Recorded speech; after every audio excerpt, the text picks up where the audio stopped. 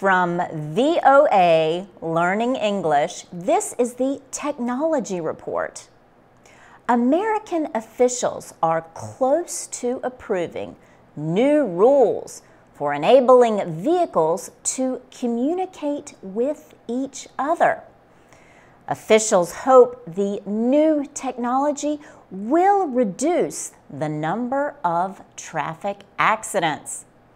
Automobile manufacturers may be required to equip all new cars with what are being called vehicle to vehicle communication devices within the next three years.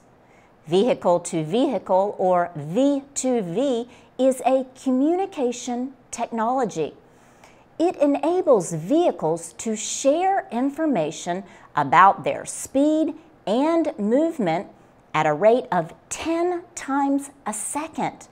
Cars will be able to identify possible dangers within about 300 meters. The cars will then warn their drivers or even take action to avoid an accident. The drivers will be able to see, hear, or even feel warning signals. The U.S. National Highway Traffic Safety Administration expects the new system to reduce the number of car accidents by as much as 80%. Critics admit that V2V technology is a major development, but they are concerned about possible conflicts with other wireless devices.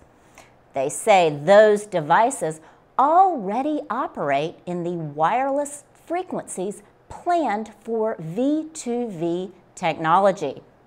Scott Belcher is the Chief Operating Officer of a group called Intelligent Transportation Society of America. He says people may also be concerned about their privacy. Government agencies and private industry have already invested almost $1 billion in research. U.S. officials expect the new technology will be required in American vehicles by early 2017. They believe it is the first step toward a better and safer transportation system. For VOA Learning English, I'm Laurel Bowman.